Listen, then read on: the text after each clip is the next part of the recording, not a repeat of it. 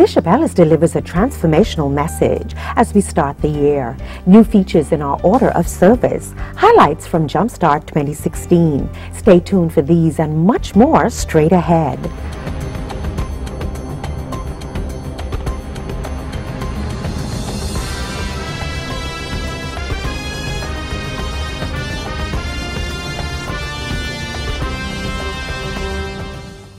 Welcome to Mount Tabor's news and highlights for the week January 10th to the 16th, 2016. I'm Donnelly Hilton and I'm delighted to have you join us. 2016 has been dubbed the year of transformative living. Last Sunday, expectancy was in high gear as Bishop Ellis delivered the first message of the year. During the message, Bishop Ellis emphasized the fact that if we want to see transformation, it will not come through the flesh, but through the Spirit. For the Spirit searches the deep things of God. He also said that no matter how much the lions roar in our lives this year, God is in complete control.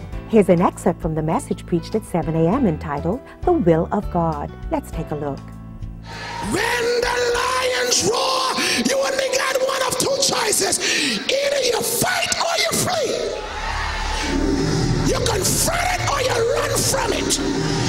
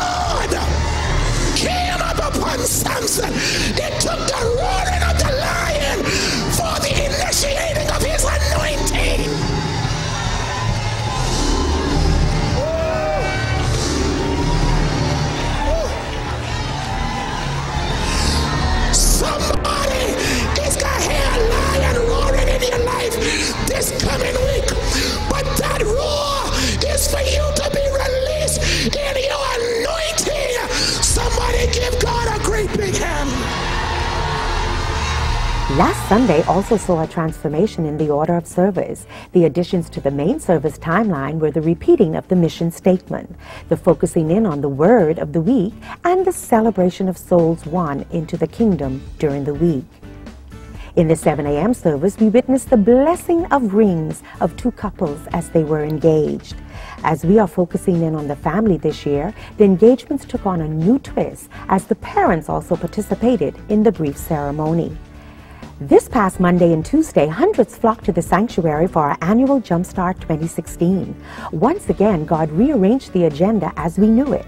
Instead of a guest speaker, the Lord led our very own bishop to walk the congregation through two nights of practical teaching, dubbed Positioning Myself for a Year of Transformative Living. So you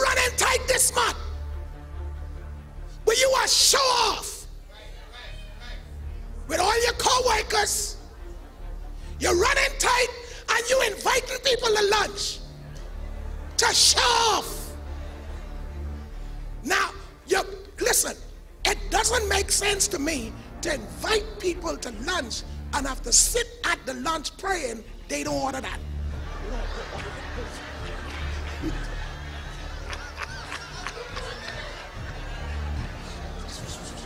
Order that. Order that. Lord, I hope she don't order this. I hope she ordered the chicken. I hope she don't order the steak. I didn't bring a half a steak. I, I, I didn't bring her. No, no, no. God has not given you the spirit of fear. That does not mean it isn't real. It just me- means it didn't come from Him. But fear is real. Every one of us, no matter how saved and anointed we are, are periodically bitten with the spirit of fear. And sometimes fear bites us when God talks. When God tells us what to do, sometimes fear bites us. See? Because God will never give you an assignment that you can one afford or two handle by yourself. On Tuesday evening, the Lord demonstrated His Word with signs and wonders in a practical way. Was preaching about the wise men. Remember that, that text last week? And I was talking about how, how everybody, only the wise men saw the star. Else passed by and didn't see that star in the sky. But they say, We have seen the star in the east and have come to worship him. And I said, Somebody is anointed to see your star. Yeah.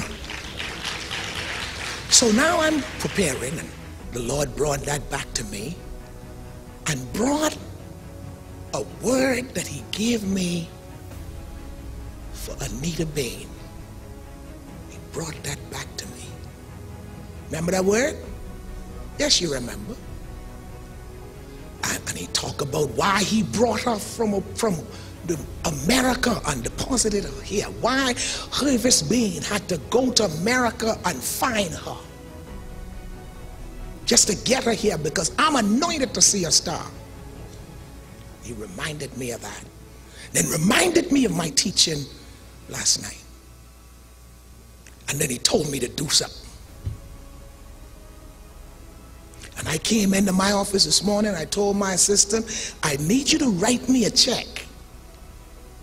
This as soon as I came in. I said, I need to write, need you to write me a check because the Lord told me to do something. I wrote, we wrote this check for $1,000 to Anita.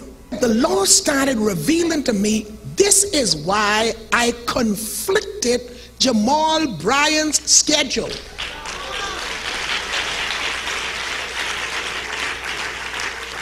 This, thing is very deep. So, so come on, come on, Anita. Come get your check. Come, come.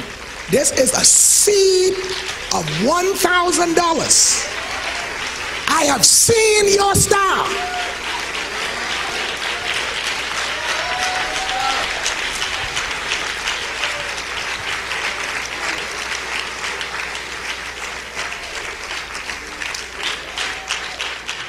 Mount Taborites, as this is a significant time in the body of Christ, let's ensure that we are holding on to and heeding every word from God by securing a copy of these teachings as they will bless your life and keep you on a track for 2016.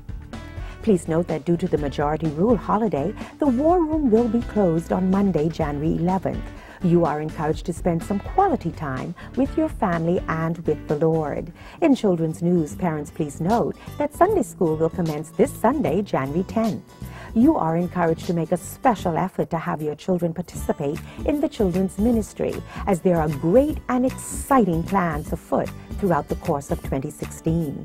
Mount Taborites, please be reminded that January commences our time of consecration. There will be no transformation without consecration.